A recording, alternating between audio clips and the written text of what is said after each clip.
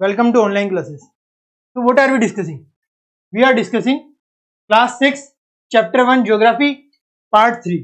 Part two में हमने prime meridian कर लिया था कि भाई प्राइम मेरिडियन क्या होता है तो ब्रिटिश रॉयल ऑब्जर्वेटरी है, जहाँ पे ग्रीनविच में वो हमारा प्राइम मेरिडियन है, जो ज़ीरो डिग्री पे है और वहाँ से ही हम हमारे बाकी लोकेशन डिफाइन करेंगे ये सारे साइंटिस्ट ने मिलकर डिसीज़न ले लिया चलिए, अब आगे देखते हैं तो this meridian is called the prime meridian this meridian is called the prime meridian ये जो है प्राइम मेरिडियन है, जो हमें कॉल करता है। तो ये जो है हमारा प्राइम मेरिडियन आप सबको पता लग चुका है। चलिए आगे देखते हैं।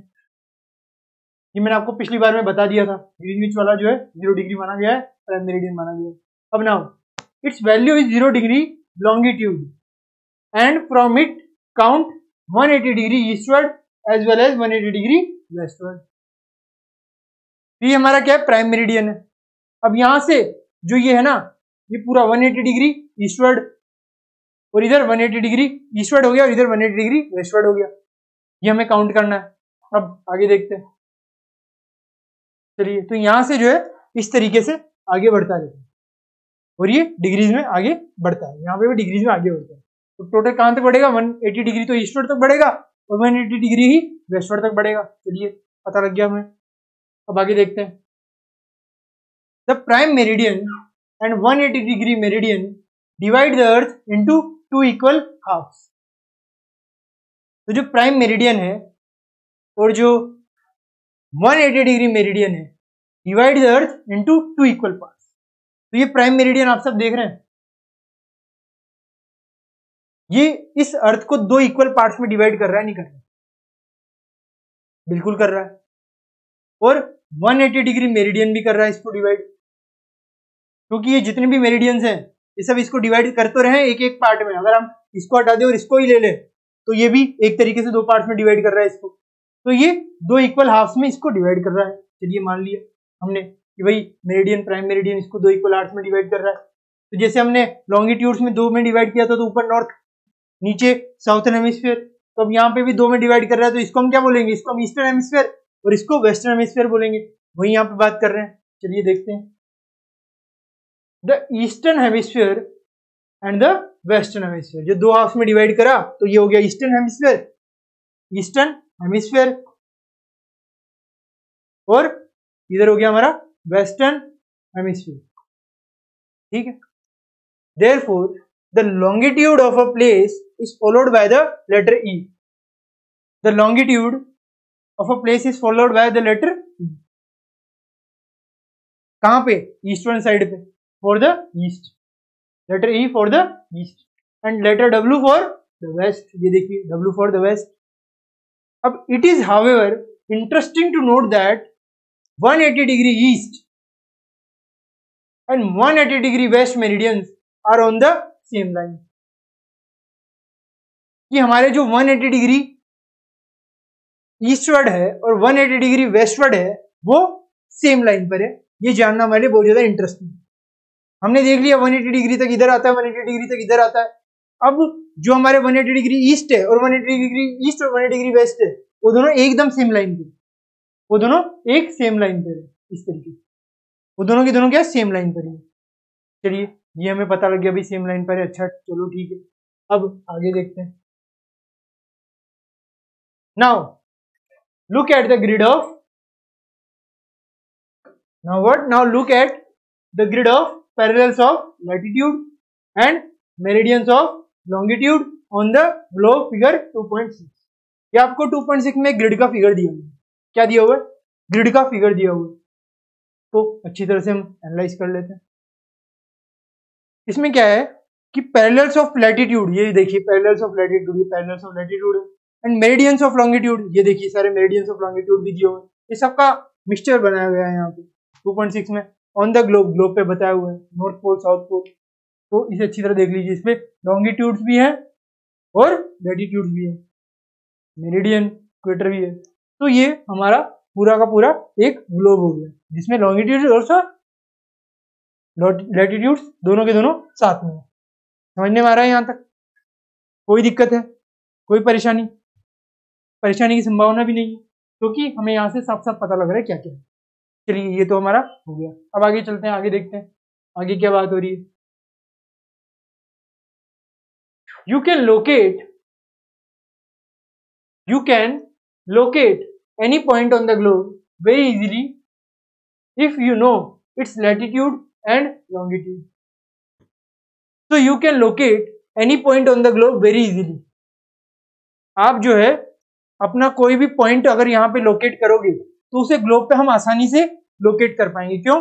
If you know its latitude and longitude अगर हमें पता है कि यहाँ से वो कितनी दूरी पर है, कितना उसका लॉन्गिट्यूड है लेटीट्यूड और कितना उसका लॉन्गिट्यूड है, ये अगर हमें पता है तो हम उसकी जो लोकेशन है वो आसानी से प्राप्त कर सकते हैं। चलिए कैसे प्राप्त करते हैं? अब एक एग्ज़ाम्पल के थ्रू हम प्राप्त करके बताएँगे। हमने देख लिया था मेरिडियन जो है ये ये हमारा ग्रीनविच मेरिडियन है। और हमने इक्वेटर भी देखा था। चलिए अब आगे चलते हैं। किस तरीके से होता है। अब for example Dhubri in Assam is situated at 26 degree north latitude तो 26 डिग्री नॉर्थ लेटीट्यूड पे इस तरीके का कोई होगा। अब इस तरीके का कोई है।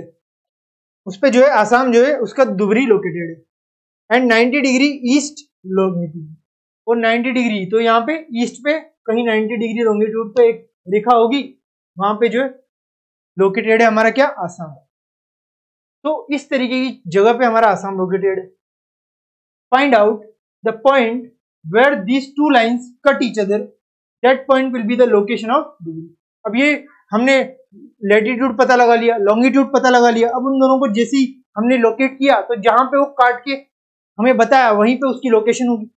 तो हमें उसकी लोकेशन यहाँ से पता लग गई कि लॉन्गिट्यूड और लेटीट्यूड जहाँ पे काट के हमें बता रहे हैं, वही उसकी लोकेशन है। तो हमें लोकेशन ऑफ़ डुबरी इस तरीके से पता लग गई कि ये और ये कहाँ पे काट रहे हैं, वो उसकी लोकेशन हो जाएगी। ठीक है, ये हमारा लेटीट्यूड और ये हमारा लॉन्गिट्यूड हो गया। ऐसे इधर भी होता है। तो इस तरीके की चीज़ें होती है। समझने में आया सबको? जहाँ पे काटते हैं, वहाँ पे हमें लोकेशन प्राप्त हो जाती है। चलिए आगे चलते हैं। ग्रिड हमने देख ही लिया। अब आगे देखते हैं। To understand this to understand this clearly draw equidistant vertical and horizontal lines on a paper, जैसे ये 2.7 में ये पेपर है। इस पर हमने हॉरिजेंटल लाइंस ड्रॉ करी मतलब लॉन्गिट्यूड बनाए।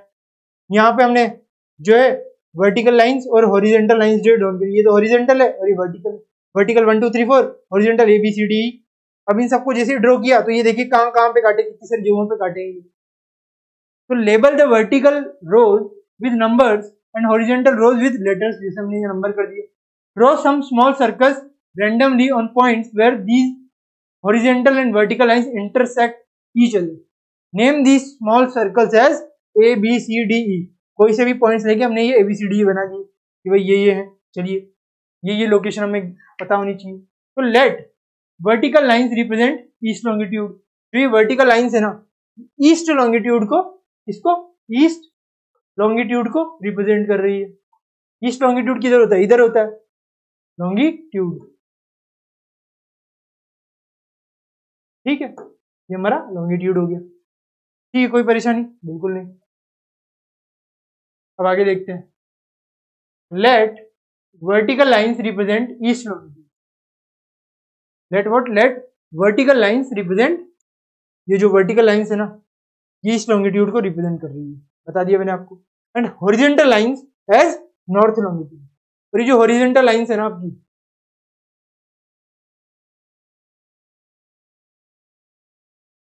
ये हमारी नॉर्थ लेटीट्यूड है। क्या है? नॉर्थ लेटीट्यूड लेटीट्यूड ठीक है? तो ये हमारे लेटीट्यूड हो गया। इसको लेटीट्यूड माना कुछ? डिफरेंट हो गया। ठीक है? तो ये हमारा नॉर्थ लेटीट्यूड हो गया और ये ईस्ट लॉन्गिट्यूड हो गया। अब now you will see that circle A is located on B degree north latitude and one degree east longitude A कहाँ पे है? ए हमारा, कहाँ पे? बी डिग्री नॉर्थ लैटिट्यूड और वन डिग्री ईस्ट लॉन्गिट्यूड ठीक है? इससे हमें इसकी लोकेशन पता लग गई। अब इसी तरीके से आप कोई इन सब की लोकेशन प्राप्त कर सकते हैं। ई e की लोकेशन क्या होगी? बी डिग्री नॉर्थ लेटीट्यूड और four degree east longitude C की क्या होगी? सी डिग्री नॉर्थ लॉन्गिट्यूड और three degree east longitude D की क्या होगी? ई डिग्री नॉर्थ लेटीट्यूड और थ्री डिग्री ईस्ट लॉन्गिट्यूड तो इस तरीके से हमें जो इसकी लोकेशन प्राप्त हुई तो आपको ये पता लगा कि हम लैटिट्यूड्स और लॉन्गिट्यूड्स को जहाँ इंटरेक्ट कर रहे हैं, उनकी लोकेशन हमें उनसे आराम से पता लग जाएगी तो ये हम इस तरीके से अलग अलग तरीके की लोकेशन जो है प्राप्त कर सकते हैं। कर लिया हमने। चलिए आगे चलते हैं।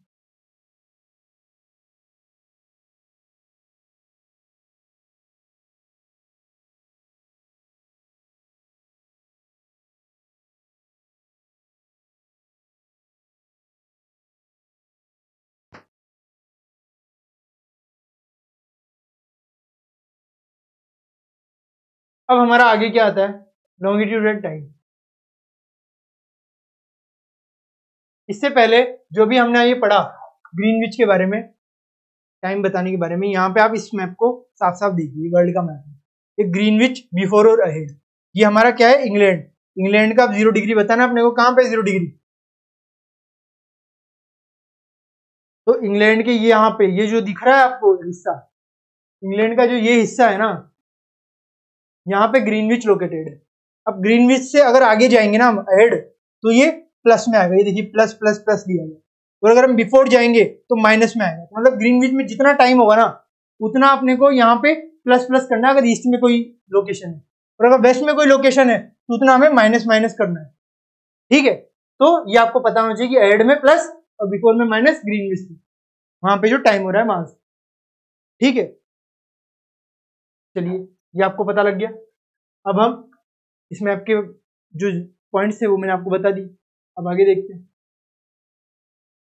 अब आगे हम देखेंगे क्या? लॉन्गिट्यूड्स एंड टाइम तो हमने लेटीट्यूड्स देख लिए। हमने लॉन्गिट्यूड्स देख लिए। हमने कई तरीके की जो लाइंस थी लेटीट्यूड्स की, वो देख ली। लॉन्गिट्यूड्स की, वो देख ली। Prime meridian tropic of cancer latitude में। तो ये सारी चीज़ें हमने देख ली। अब हम देखेंगे लॉन्गिट्यूड और टाइम में किस तरीके का रिलेशन है क्या क्या हम उससे कर सकते हैं। चलिए देखते हैं। अभी तक जो समझा वो तो समझने में आ ही गया होगा। आज हम जो ये है, दूसरा अलग पढ़ने वाले हैं। तो the best means of measuring the best means of measuring time is by the movement of the time को मेजर करने का सबसे बढ़िया तरीका क्या है? अर्थ की मूवमेंट को अच्छी तरह से स्टडी करना। अर्थ की मूवमेंट को स्टडी करके हम इसे पढ़ सकते हैं आसानी से। चलिए देखते हैं। और द मून से भी हम कर सकते हैं, और प्लेनेट से भी कर सकते हैं। मून भी रोटेट करता है प्लेनेट भी रोटेट करते हैं अर्थ भी रोटेट करता है। तो इन सब के रोटेशन से, इन सब की मूवमेंट से हम जो है, हमारा टाइम जो है मेजर कर सकते हैं। पहले के टाइम पे घड़ियाँ तो होती नहीं थी। तो लोग इन्हीं के समय, जब उन्हें नॉलेज थी, हमारे जो बड़े बड़े विद्वान थे, वो इनसे ही समय का अनुमान लगा लिया करते अब आगे देखते हैं। The sun regularly rises and sets every day आप सब जानते हैं सन हमेशा सुबह सुबह उग जाता है, वो शाम होते ही ढल जाता है। That is sunset and naturally it is the best timekeeper throughout the world naturally ये जो बेस्ट टाइम कीपर है थ्रू आउट द वर्ल्ड भाई, सुबह होती मतलब सूरज उग गया, शाम होती मतलब सूरज ढल गया सनसेट हो गया। Now local time can be record by the shadow cast by the sun मतलब सन की जो शेडो बढ़ती है, उसके अकॉर्डिंग हम टाइम को मेजर कर सकते हैं रिकॉग्नाइज कर सकते हैं। Which is the shortest at noon and longest at sunrise and sunset तो जो सन की शेडो है, वो शॉर्ट होती है मतलब छोटी होती है कब? नून के टाइम पे। और लॉन्गेस्ट हो जाती है कब? सनराइज और सनसेट के टाइम पे। तो जब सनसेट होता है तो हमारी जो शेडो है, वो बड़ी होती है। और लंबी होती है, जबकि जब नून होता है मतलब जब आफ्टरनून आप सबने सुना होगा, उससे पहले नून होता है तो नून में हमारी जो शेडो है वो छोटी हो जाती है। ये यहाँ पे हमें बताया गया।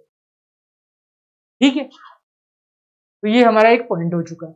अब आगे देखते हैं, क्या बोलता है ये? चलिए आगे चलते हैं।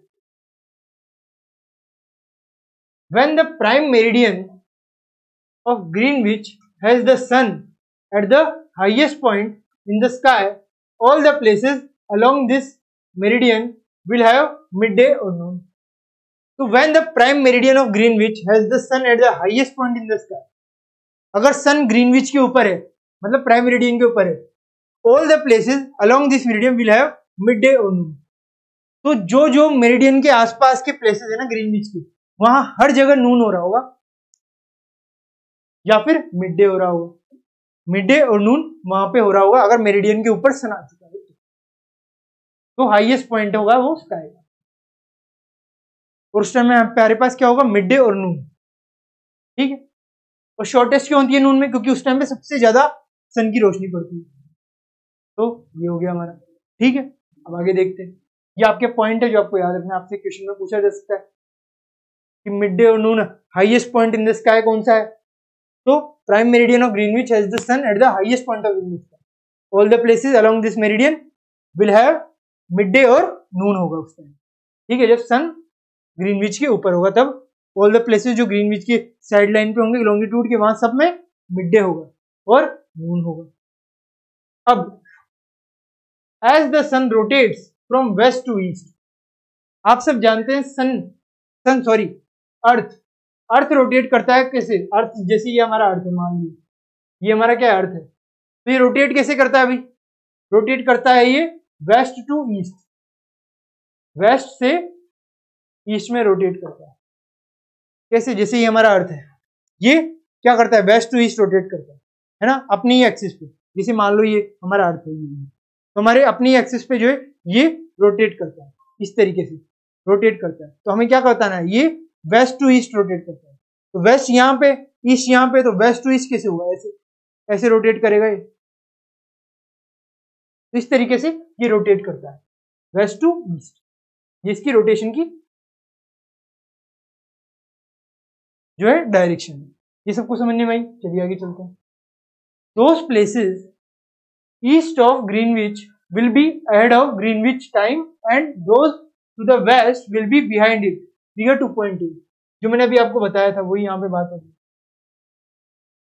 जैसे कि इसमें बताया हुआ है कि ग्रीनविच का तो हमने देख लिया, उस टाइम पे मिड डे नून होता है।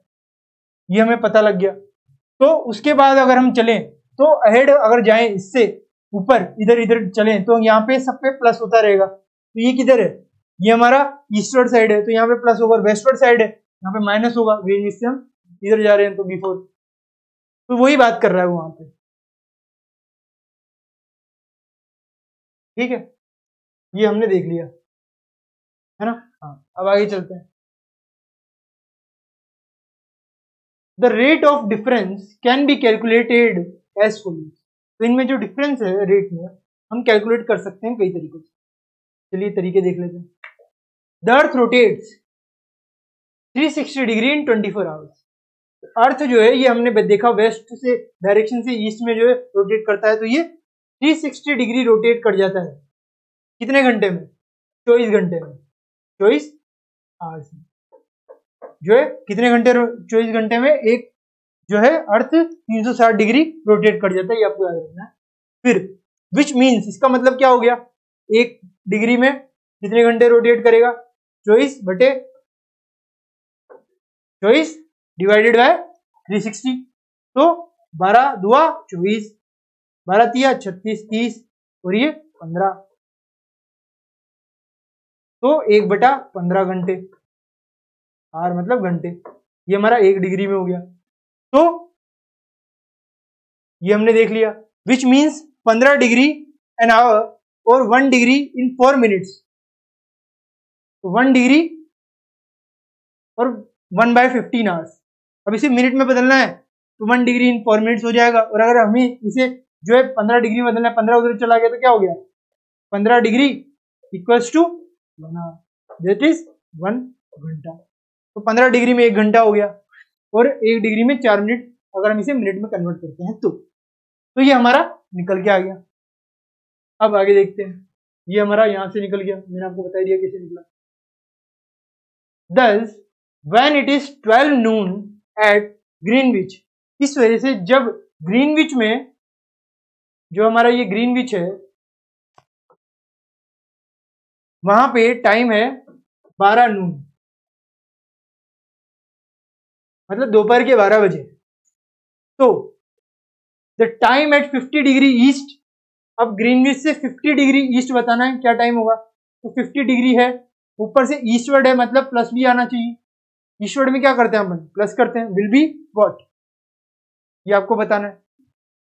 तो 15 डिग्री में हमने अभी देखा, कितना टाइम होता है 15 डिग्री में? एक 15 डिग्री में एक घंटा लग जाता है रोटेट करने में। कितना घंटा लगता है? एक घंटा। और चार मिनट भी लगते हैं, अभी हमने देखा एक डिग्री में। कितने? चार मिनट एक डिग्री में चार मिनट लगते हैं। तो पंद्रह डिग्री में कितने मिनट लगेंगे? पंद्रह चौक साठ। तो साठ मिनट विल साठ मिनट हो गए हमारे। ठीक है? और हमें यहाँ पे दिया हुआ है क्या? ईस्टवर्ड मतलब प्लस में। मतलब बारह में आप साठ मिनट जोड़ दो। क्यों? क्योंकि हमें ईस्टवर्ड बताना है ना। अब मैंने आपको बताया ईस्ट में तो हेड होता है हेड में जोड़ते हैं। तो बारह में साठ मिनट जोड़ो। बारह बज रही साठ मिनट और जोड़ दोगे तो कितने बज जाएँगे? एक बज जाएँगे। क्या बज जाएँगे? एक बज जाएँगे। आपका आंसर हो जाएगा वन पी एम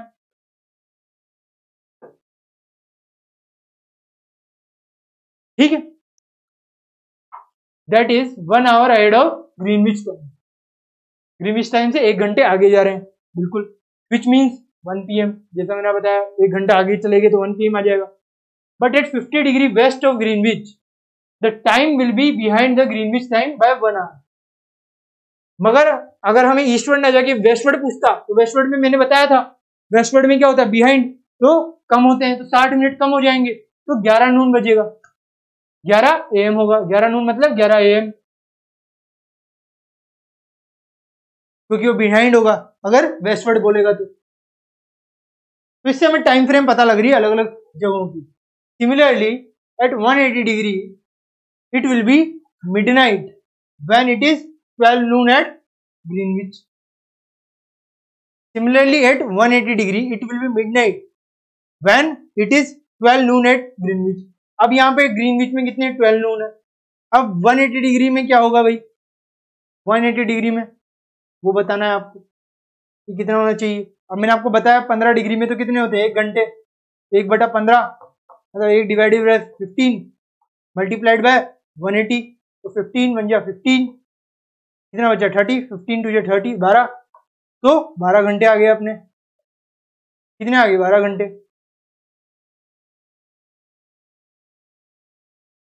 तो 12 घंटे आ गए। तो अब इससे 12 घंटे आगे जाएँगे तो क्या चलेंगे? यहाँ पे 12 बज रही है। अब इससे 12 और चल है तो क्या हो जाएगा? मिडनाइट हो जाएगी। होगी नहीं होगी?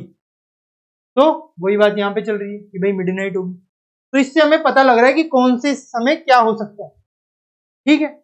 आप सबको ये ध्यान में आ गया कि भाई कौन से समय क्या हो सकता है। चलिए आगे चलते हैं। At any place a watch can be adjusted at any place a watch can be adjusted to read 12 o'clock when the sun is at the highest point in the sky. कि आप जो है, जब सन हाईएस्ट पॉइंट होगा इन the sky में मतलब वो हमारे ग्रीनविच के ऊपर होगा।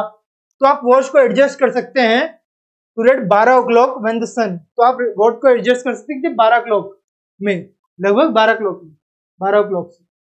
ठीक है?